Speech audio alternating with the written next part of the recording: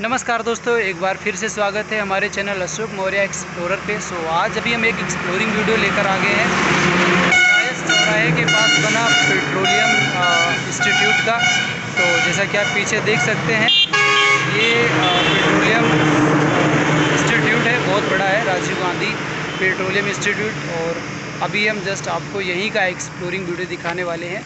सो so, चलिए video की तरफ़ हम आपको रियर कैमरास दिखाएँगे क्योंकि फ्रंट कैमरा से प्रॉपर क्लियर नहीं होता है सो मूव होते हैं फटाफट।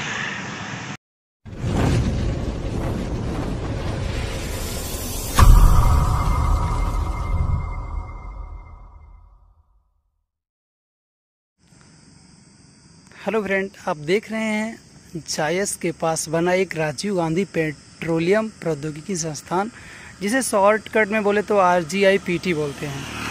ये जो स्थान बना है बहुत बड़ा है और बहुत ही पुराना है। जैसे कि हम आपको दिखाते हैं, ये इंट्रेंस एरिया है, सामने की तरफ़ ये गेट है, यहाँ पे सिक्योरिटी और उसके बाद ये यहाँ का एक इंट्रेंस का गेट बना है बहुत बड़ा सा। और इसकी जो एरिया है, आप देख सकते हैं, जहाँ तक आपको वॉल्स दिखाई दे रही है, ये सामने की तरफ़ लास्ट यहाँ तक। तो सामने लास्ट ही है वॉल्स का, आखिरी जो इसका हिस्सा है। और एक, और बात, सामने की तरफ़ अगर आप यहाँ से 20 किलोमीटर आगे जाएँगे तो रायबरेली सिटी मिलेगी। और उसके बीच में बहुत सारे ऐसे चौराहे हैं, जैसे उदारी चौराहा, फुर्सतगंज चौराहा और बहुत सारे हैं। और विज़िट हुआ, कभी तो आगे की चौराहे भी दिखाएँगे, अभी यहीं तक है। तो आज यहाँ के बारे में आपको दिखाते हैं, जो कि राजीव गांधी पेट्रोलियम प्रौद्योगिकी संस्थान बना हुआ है, जायस। जिला अमेठी उत्तर प्रदेश।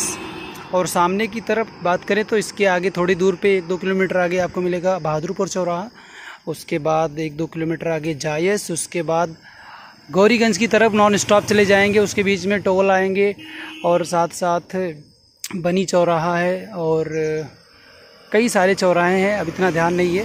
तो जितना है हम आपको बता रहे हैं, गांधीनगर भी है और मेन पर्पज़ इसी स्थान को दिखाना, क्योंकि ये बहुत ही विकसित एरिया है। धीरे धीरे यहाँ पे अच्छा ग्रोथ हो रहा है और इसके पास में ही बना एक जायका रेस्टोरेंट है। लॉकडाउन के चलते यहाँ पे भी बंद पड़ा है। जैसे कि आप देख सकते हैं, ये रेस्टोरेंट टाइप का है और यहाँ पे अभी लॉकडाउन के चलते सारा बंद है और ये आप देख चुके हैं यहाँ का नज़ारा दृश्य। तो इस वीडियो में यही है। मेन इसी के बारे में दिखाना था, एक्सप्लोर करना था।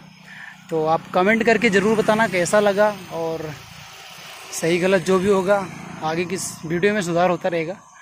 तो फटाफट कमेंट कीजिए और ज़्यादा से ज़्यादा वीडियो को शेयर कीजिए दोस्तों, अपने ग्रुप्स में शेयर कीजिए, लाइक कीजिए, कमेंट कीजिए। तो मिलते हैं नए वीडियो, तब तक के लिए जय हिंद, जय भारत, धन्यवाद।